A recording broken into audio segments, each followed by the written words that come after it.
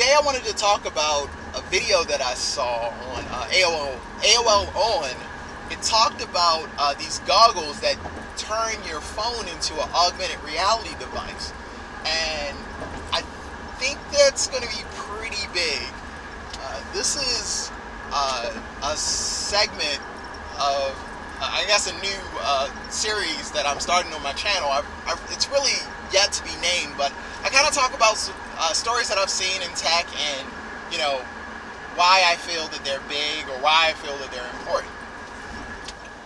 So, uh, getting back to, uh, it's just like these goggles. If you ever looked at like the Oculus Rift, they're just these like huge, like, like um, if you ever like went um, uh, snowboarding or uh, uh, skiing and, and, you got the goggles where, um, you know, you either get like sunglasses or you get goggles. Yeah, the goggles. But think about goggles and then it's kind of like extruded out a little bit more.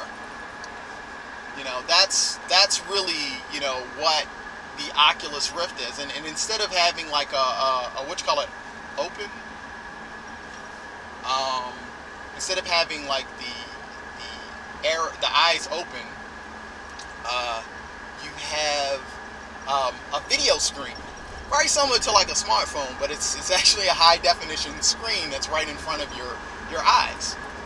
So, cool thing about it is somebody has figured out how to make a commodity one, um, where it's not using, uh, you know, uh, high definition like screen at the top of your glasses. It's just using your your um, iPhone or your your smartphone or your your Android or whatever ones you whatever mobile device or smartphone you use, which is super cool.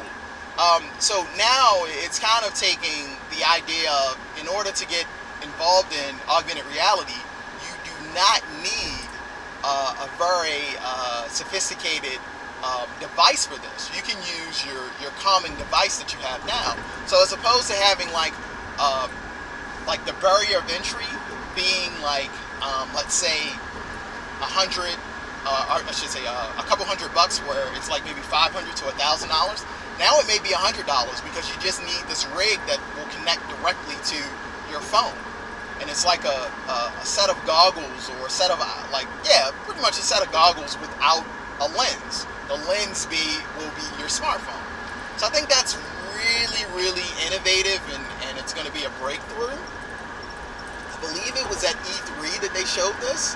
Um, so now we're, we're talking to the point where it's going to be in uh, people's homes or it'll be very easy to adopt this technology because the price point is so low. Even if this device costs a hundred bucks, I think it's going to get enough, um, I would say, traction that it's going to make a difference. So I thought that was really interesting, and I would love to hear your thoughts. I'm going to post this on YouTube, also Google Plus. I don't know. I may also post this on Quora because I, I love those uh, social platforms. So uh, please, you know, respond, comment, like the video. Please click the like button, subscribe to the channel. Uh, anything will help. Thanks for watching.